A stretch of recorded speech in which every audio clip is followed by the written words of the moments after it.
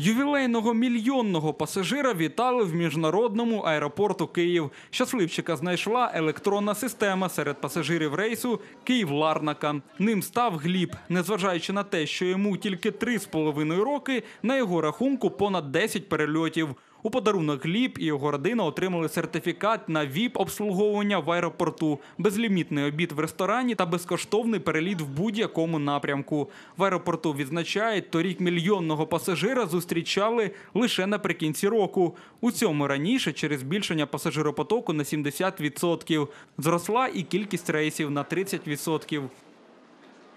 Взагалі нічого не знали. Ми навіть е, нервували, бо дуже довго це все тянулося. Ми ще це цього не осознали просто, розумієте? Да? Але комусь дуже шарики сподобалися. І він дуже хвилюється за них.